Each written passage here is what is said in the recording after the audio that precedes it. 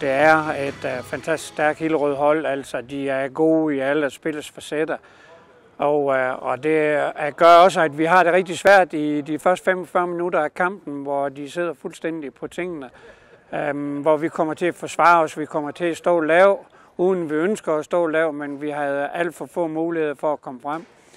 Der vi får snakket omkring tingene i pausen, der får vi rettet på det, og, og der kommer vi rigtig godt med i anden halvleg, og, og har, synes jeg, øh, teten og, og er ved at tage fuldstændig over øh, midt i anden halvleg, hvor vi så desværre blev ramt af en, uh, en udvisning, og så er det klart, så kommer vi igen til at forsvare kampen hjem.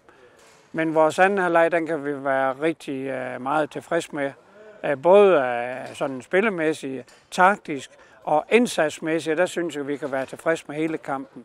Så når vi så gør det hele op, så synes jeg, det er et rigtig godt point, vi henter. Uh, og så kan man altid sige, om, om det er fortjent eller ufortjent. Jeg synes, det er fortjent, fordi at vi er så meget på hele tiden, så fortjener vi at få et point. Er der straffespark? Ja, det er vi svært ved at se. Vi synes selvfølgelig, at der er straffespark, men uh, der må jeg tro, at dommeren han, uh, vælger den rigtige løsning. Det er jeg spændt på at se. Hvad er din kommentar til udvisningen? Ja, altså hvis det er til et gult kort, så er det jo sådan, at han øh, får nummer to gult kort, og så, så kan dommeren jo ikke gøre så meget andet.